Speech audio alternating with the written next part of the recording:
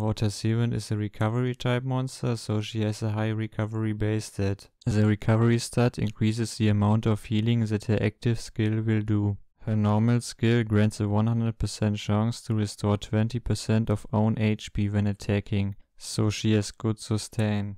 Her active skill heals all allies and restores a set amount of HP for all allies. Her leader skill increases defense of ally water Astromons by 30 to 35%.